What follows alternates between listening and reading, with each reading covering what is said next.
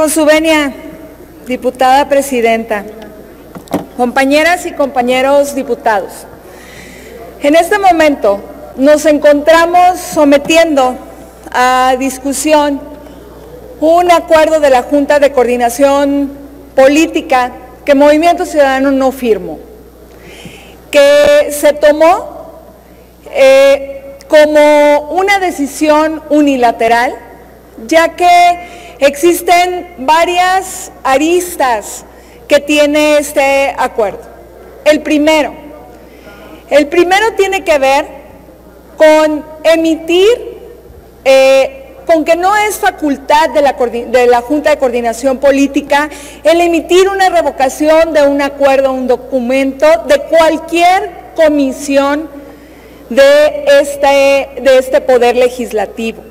Nosotros no podemos generar ese precedente. Los procedimientos internos de las comisiones están muy claros en nuestro reglamento y en nuestra ley orgánica. Segundo, se está pidiendo en un segundo párrafo que se revoque el acuerdo y que se vaya a la sección instructora por un tema que ahorita está interpuesto un, eh, un recurso judicial, es decir, un amparo. Nosotros no podemos decirle a la sección instructora que si hay un amparo dentro de, este, de, su proceso que debió haber, debió haber llevado, que lo haga o no, el decidir si tiene fuero o no el fiscal de Morelos.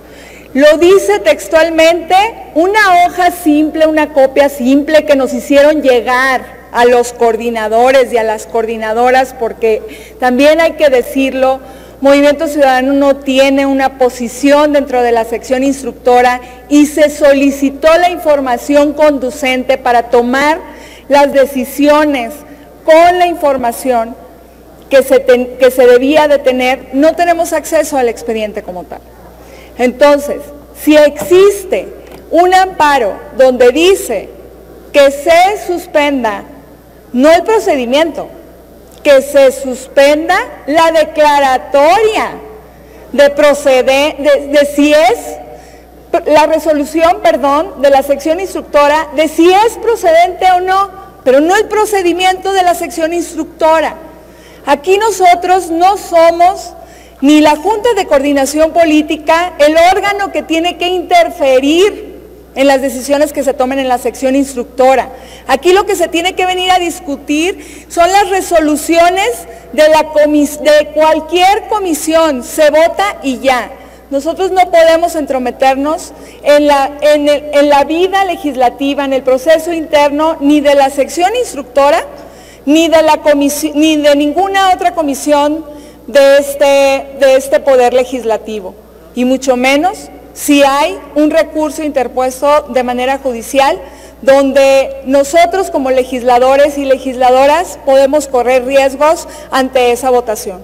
Por eso hoy, el día de hoy, el Grupo Parlamentario del Movimiento Ciudadano no está firmando este acuerdo que se pasó de forma económica y rápida sin tener los elementos suficientes y también no lo estará votando en el tablero precisamente por las implicaciones que pudiera tener. Sería cuánto, eh, diputada presidenta.